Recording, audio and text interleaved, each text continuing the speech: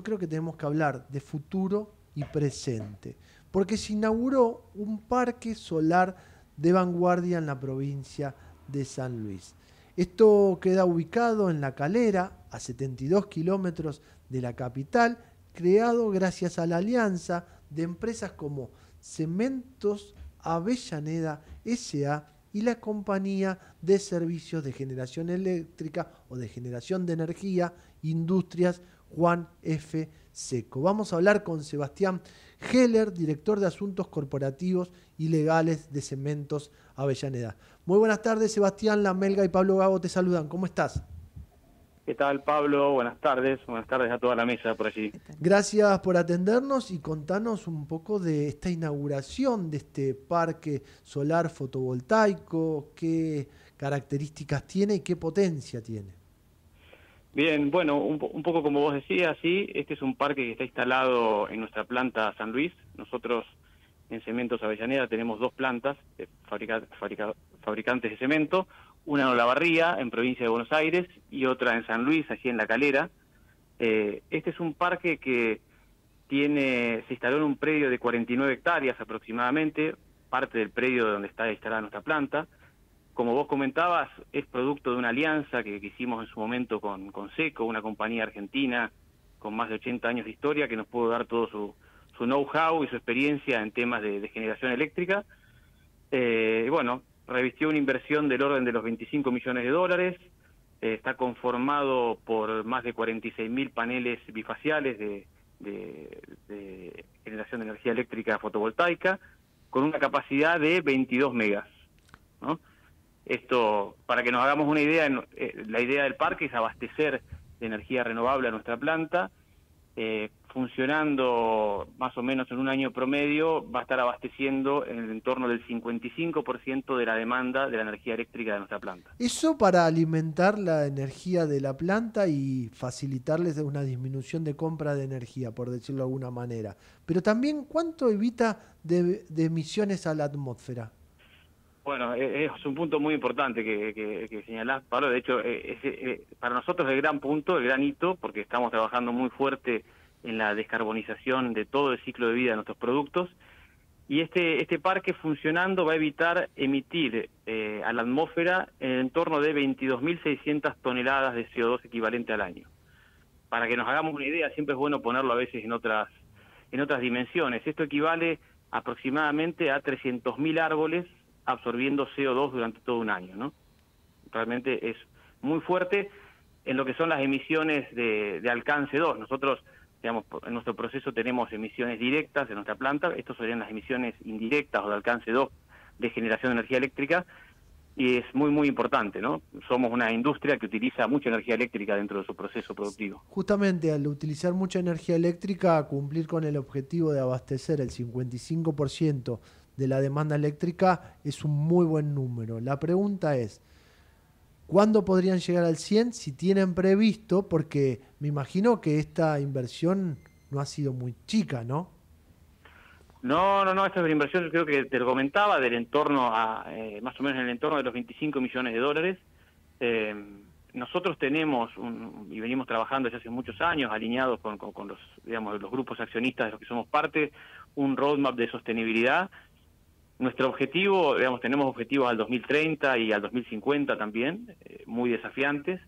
Estamos trabajando actualmente en otro proyecto, este como comentábamos es para nuestra planta de San Luis, pero estamos actualmente trabajando en otro proyecto para nuestra planta de Olavarría, en ese caso sería un parque eólico, así en la provincia de Buenos Aires, en esa zona hay un buen recurso eólico, y todavía es un proyecto, tenemos que trabajar durante todo este año para hacerlo realidad y para ver si, si efectivamente desde el punto de vista técnico y económico es viable y si logramos, que estamos muy entusiasmados y, comprometidos, conseguir este, eh, digamos, viabilizar este proyecto, ese proyecto, la dimensión de ese proyecto alcanzaría para abastecer el 100% de nuestra planta de Olavarría y completar lo que nos falta aquí en nuestra planta de San Luis, con lo cual con este otro proyecto estaríamos ya en el 100% de energía renovable autogenerada en nuestros propios predios, ¿no? que eso es un, diferencial muy importante, ¿no? no es una energía comprada en el máter a un, a un generador. Sebastián, si estamos hablando de que esto fue de una inversión de,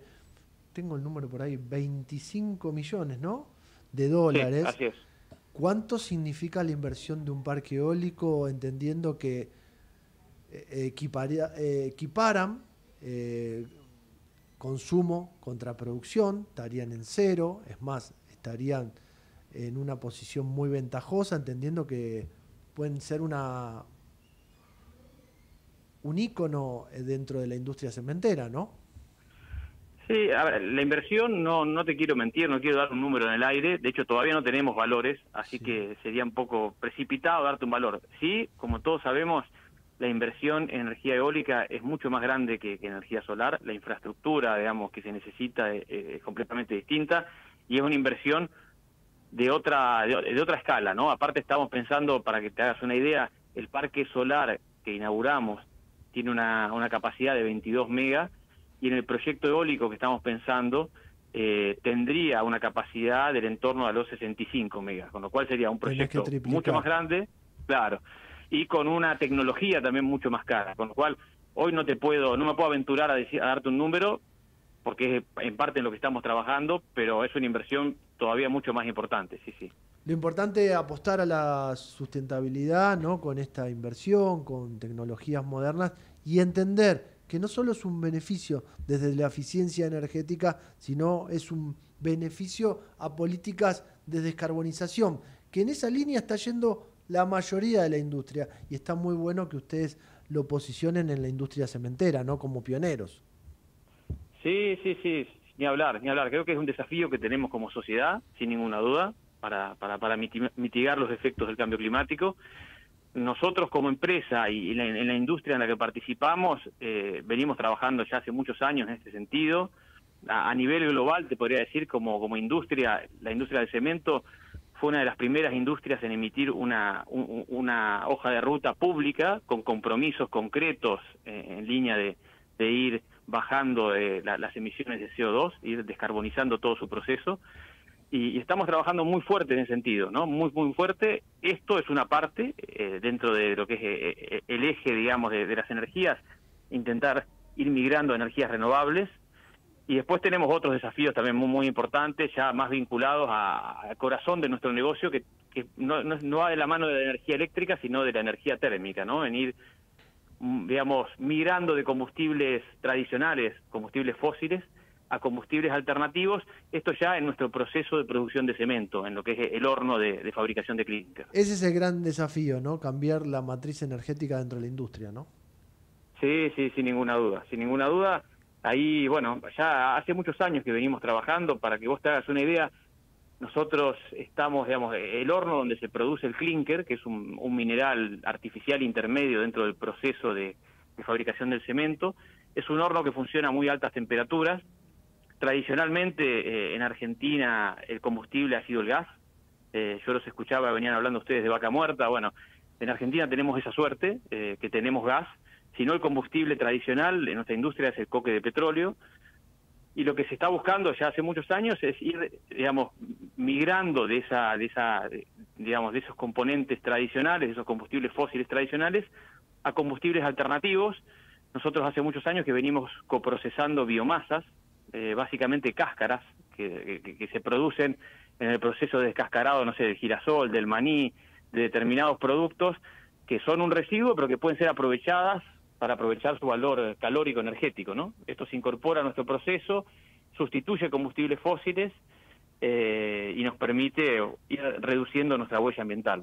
Sebastián, la verdad que sería ideal que un día, voy a hablar con la producción, te vengas al piso y le dedicamos tiempo a este cambio de matriz energética que, que, necesita la industria cementera y hacia dónde está yendo, porque hay muchas tecnologías que se vienen desarrollando que nos interesaría que le cuentes a la audiencia para que mm, entiendan dónde está la visión de una industria cementera que se quiere descarbonizar y una industria cementera que también ve otras fuentes de energía. Así que vamos a quedar en contacto con la producción para invitarte al piso. Perfecto, Pablo, cómo no, tomo, tomo la invitación y nada, lo coordinamos. Dale. Encantado. Abrazo grande, que tengas muy buena semana. Bueno, igualmente, un abrazo para todos. Hasta luego. Y era Sebastián Heller, director de Asuntos Corporativos y Legales de Cementos Avellaneda.